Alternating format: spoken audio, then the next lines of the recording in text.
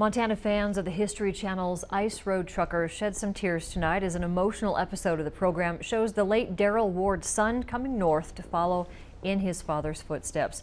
Darrell Ward was called the Montana legend on the show. He died tragically when the small plane he was riding in crashed just east of Missoula about a year ago. And no one knows yet, investigators say, what caused it.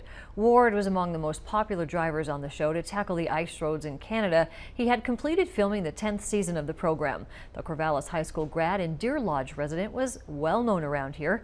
During the Ice Road Truckers episode, Ward's son Reno reunites with his father's business partner and friend Lisa Kelly as he returns to the ice roads to help fill the vacancy left by his father's death.